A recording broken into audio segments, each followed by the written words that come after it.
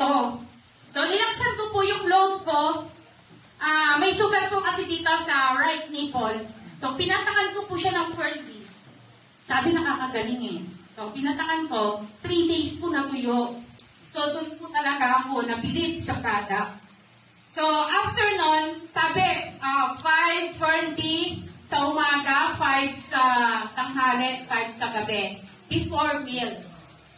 So, nung natuyo, hindi ko na binibilang. Kahit maubos ko yung yung isang 60 capsule, iba Ilocano rin ako. Ibukbukbuk ko, tapos ganun na.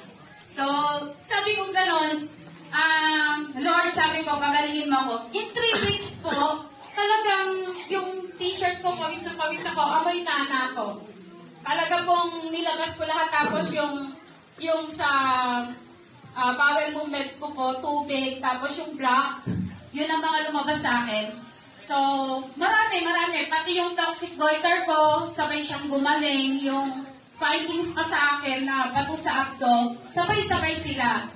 So, napaka-amazing nitong product na to. Kaya, maswerte po tayo dahil meron na nito sa Philippines. Pwede pong palakpakan nyo kasi may hope na yung career cancer.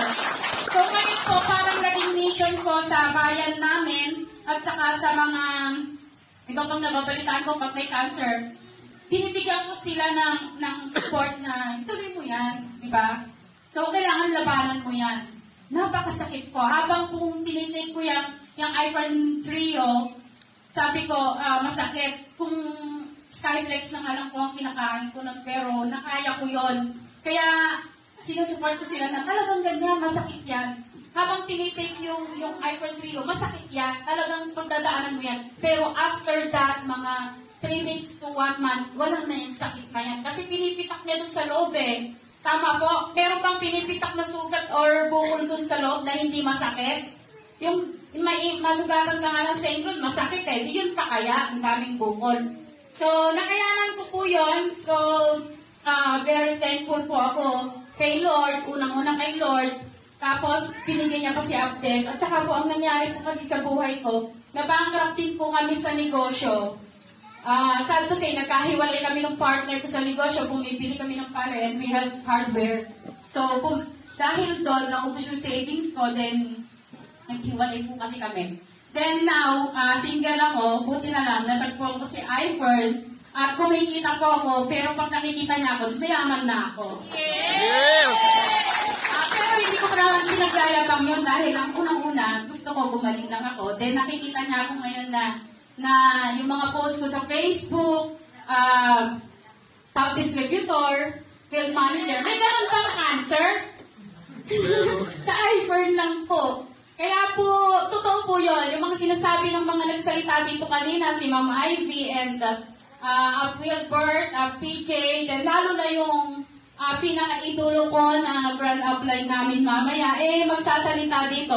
Siya po ang pinakamalaking na- nakatulong sa pagbabago ng buhay ko, lalo na ngayon mag, mag IMC na pala ako, hindi ko alam, hindi ko namamalayan. Kaya sa mga leaders po dito, ituloy-tuloy-tuloy mo lang po yung trabaho mga ganito, mag-invite lang po kayo. Kasi hindi lang, hindi naman scam yung product natin. Totoo siya. Hindi siya nakakahiyang i-alok sa mga may sakit. At talagang sa amin, uh, laboratory tested, mga toxic goiter, T3, T4 nila, nag, uh, ne, uh, nag-negative na. So, gumagaling. Yung mga pasyente ko po, kasi physical therapy na po ako. So, ano po, yung mga stroke, nakukonsensya na akong hindi sabihin na sa iFern, gagaling ka. Kasi po, 500 ang singil ko per hour sa pagtitherapy ko. So, sabi ko, i-try nyo yung iPhone Trio. Sabi ko, one week po, naglalakad na sila. Tapos sila pa magsasabi, anak, nagpa-therapy, mag na ako. Hindi, syempre, okay lang po yan kasi nakikita ko na po silang naglalakad. Tsaka, very effective po. Susundin lang po natin yung dosage. May nakita po akong stroke dito kanina. Dahil ituloy-tuloy mo yung proper dosage natin. Huwag kong titipirin. Kasi ang iPhone po, treatment talaga siya. Hindi siya maintenance. Hindi katulad ng ibang synthetic na drugs na uh, after 5 to 7 years, nakapila na po kayo sa dialysis center. Totoo po yun. Kaya, Maswerte po tayo, meron na pong iFern. Totoo po lahat yan. Nanalo po ang Ferdy sa London noong November lang ah, sa World Branding Vitamin. Doon lang makikilala ang Pilipinas. At payag po ba kayo na someday pati kayo international leader na rin ng iFern? Yes! Okay, so sabay-sabay po tayo na na pumalakpak para sa iFern. Okay, so yung susunod po ipakikilala ko ay isang ah, taga Baguio po. So siya ay ah, IT graduate. Palagay ko ito, magaling din sa negosyo kasi may may sarili silang ah, learning ah, school.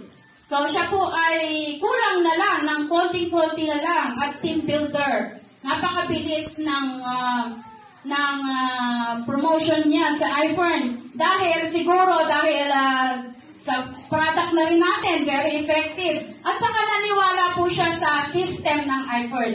Iisa lang ang system ng iPhone. Pag may RBA, MBO, attend lang kayo. Ganun lang po yun. So, pinakikilala ko si Ma'am Darilyn Tan. Papakilala so, ko Sir Thompson.